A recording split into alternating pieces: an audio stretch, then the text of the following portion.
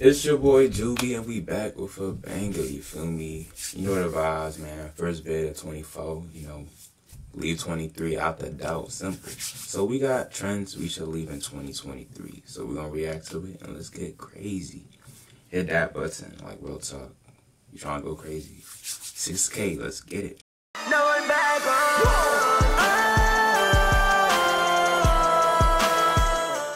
I decided to ask the audience, and I'll basically read the comments and give my thoughts, and if I agree or disagree. Now, without further ado, let's hop right into it.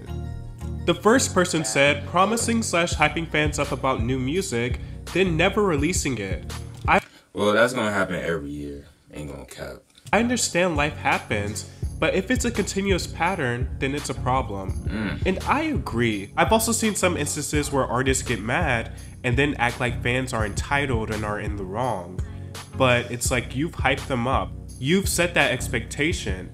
If the music isn't ready or you don't know, then don't give a date or time frame. It's facts. It's facts. It goes with everything, you feel me? Like when I make videos, I used to be like, I'm dropping woo to woo at 7 p.m. Then I'm like, damn, I'm not even ready for 7 p.m. Why did I even announce it? So nowadays, I don't even announce. I don't announce unless the thing is already on YouTube ready for me to press schedule. You feel me? Like, there's no point of typing people up and then they're ready and on time and it's not there. Like, that's just dumb. You feel me? Like, don't be don't be on black people timing. Let's be let's be let's be for real. And because people will be disappointed if it doesn't come out. One person said, pressuring celebrities to speak on political topics to spread awareness. I'd rather have educated people who have taken interest in said topics for more than three days to post facts and legitimate resources to further create any discussion of value than have a celebrity who probably hasn't even finished high school to post about serious matters just to get clout or out of fear of being canceled. Mm, that's true. That is true. You feel me? Like they say, if you don't post about it, then that means you don't care. What? Like it makes no sense. You whole time you probably do care. You just don't want to. Like you feel me? Like post not posting it don't mean you don't care, y'all. Like I'm telling you. Remember, 50 years ago, we didn't have social media. They wasn't posting things. Does it mean they didn't care? No. So yeah, to me it was dumb. I think they were going after Drake or some other rappers about things of that nature, and it wasn't right. You feel me? People have their own opinion. They don't want to share it. They don't have to. It's just life. I want celebrities to entertain me and politicians slash activists to educate me. Simple. That's it. I do agree that the kind of dog piling of celebrities to speak out about things on the internet is a bit egregious. And I feel like it's a damned if you do, damned if you won't scenario where you will never completely satisfy anyone on either side, and there will always be someone mad on either side. Facts. But I will say there is a difference when a celebrity aligns their brand with activism. Then people will come to expect activism from you, and people will call you out if you're not consistent with it. And I think that's fair. Like, you can't just use activism when it's beneficial for you and expect people not to take notice. But celebrities who just stay to themselves and aren't political should just be allowed to exist without people bothering them or dogpiling on them to speak about something they likely know nothing about. The next person said songs without bridges, and I agree. I do feel like bridges are making a slight comeback, but in the era of TikTok and artists trying to game the streaming systems, I feel it's going to be a long while before we see a full return of bridges. Damn. The next person said slow, boring music dominating everything. And I feel like this is an L take because it implies that if something is slower, it's boring, and that's just not the case. And also, for the last few years, we have experienced a disco and dance revival. So I'm not really sure where this whole slow songs dominating everything narrative is coming from. But even if that were the case, if the slow song is good, it deserves to dominate just as much as an up-tempo song does. Facts. Another person said, Chrisean Rock and Blueface, please.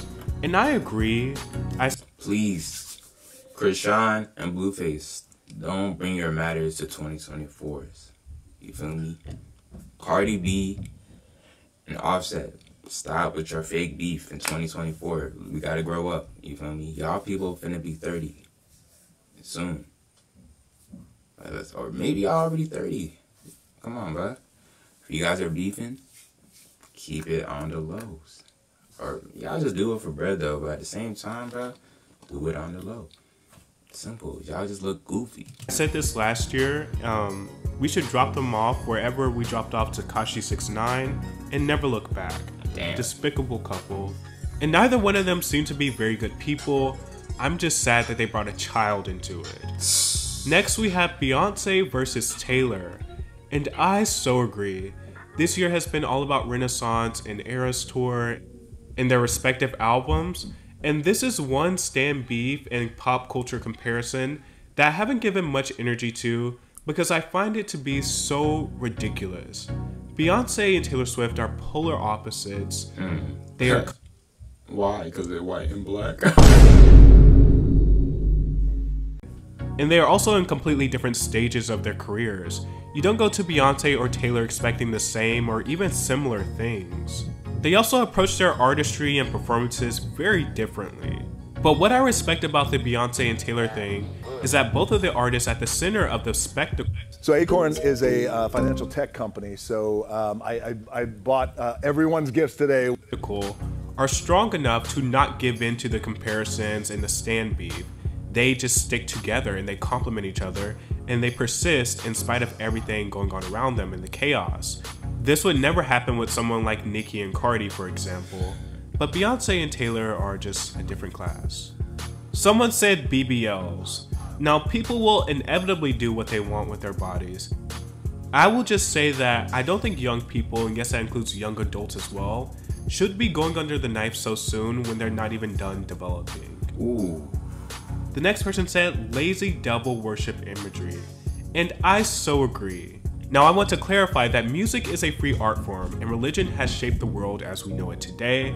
So, inevitably, religion will impact music in some form, in some influence. And some of the best popular songs of all time have religious imagery or religious ties, like Madonna's Like a Prayer or Prince's Die For You. But like I said previously, I do think there is an uptick of artists who are using religious imagery, specifically satanic imagery, as rage bait at this point. It's not like they're saying anything interesting in their songs or music videos. It's just like, hey, look at me, I'm so shocking, ha ha ha, I'm a troll. But there's not anything else going on. There's nothing I peep too though. I ain't gonna cap. It's like they have it. They have their evil stuff, but they're not really evil for real. If you know, you know. Like it's like they promoting evil, but they're not really evil. But like, I want y'all to really comment on below. Like, you know, tell me how you feel about this. Cause I, I kind of, I kind of noticed that. Like, is is Lil Uzi satanic? Is Doja Cat satanic? Is Young Boy is he san- satanic? Like, we don't know. Like, I'm just asking. Y'all let me know. being said in the song. Trippie Redd. Song. The music's not good, and there's just so many artists using satanic imagery as a crutch for controversy and not mm. delivering on all fronts. It's just a vanity project. Now, there's actually this comment left on one of my videos that I think about every time this topic is brought up, and I feel like it was so well put and so well written. And they say, I so agree with satanic imagery, slash the implication of Satanism being a cheap way to create discourse.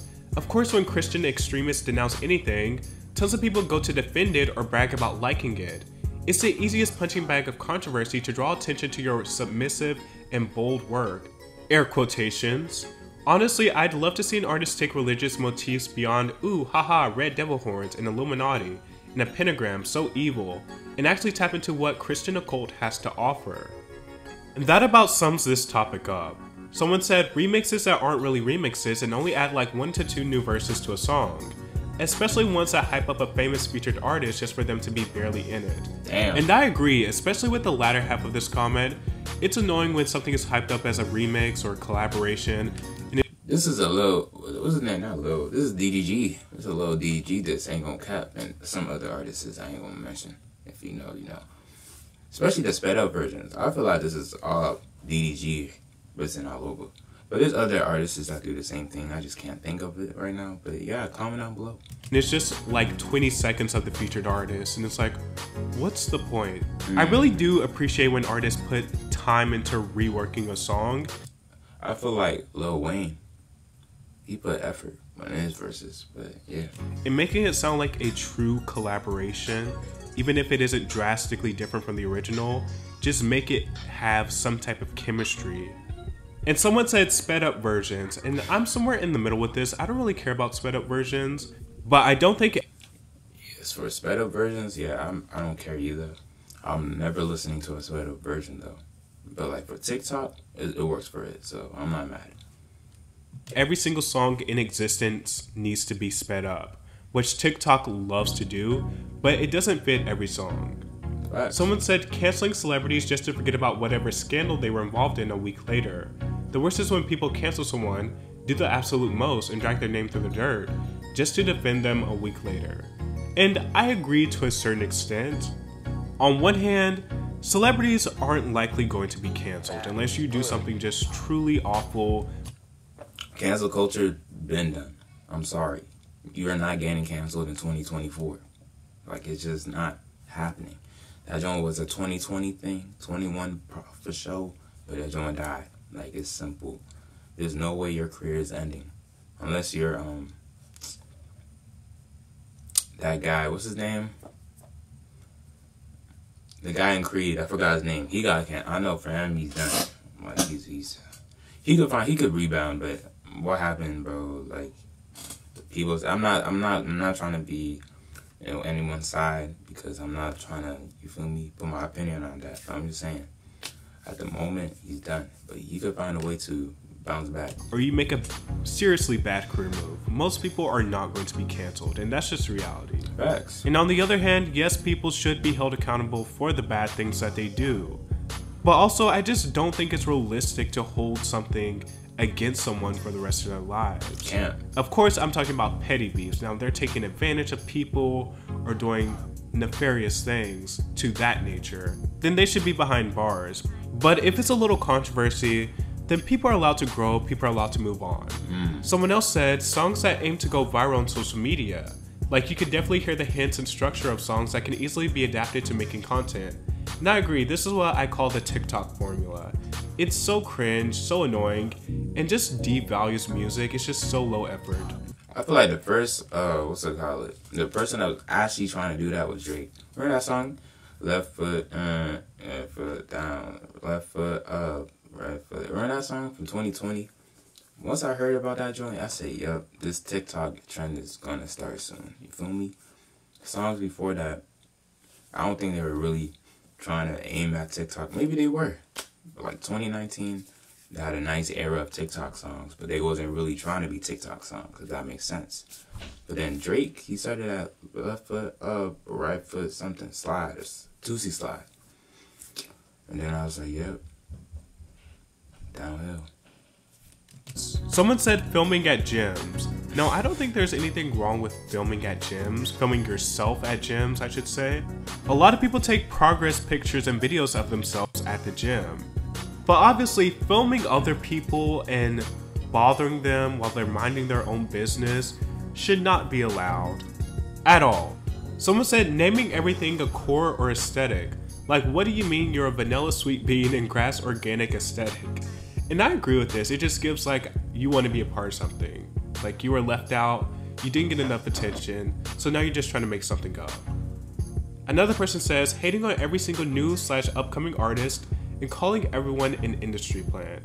And I also agree with this. Obviously, artists will be analyzed and their come ups will be analyzed. And some people's come ups may be untruthful and it will be, you know, called into question. But not every artist has faked their come up. Someone said throwing stuff at singers slash performers on stage, and agree. Now, this is not a new phenomenon, of course.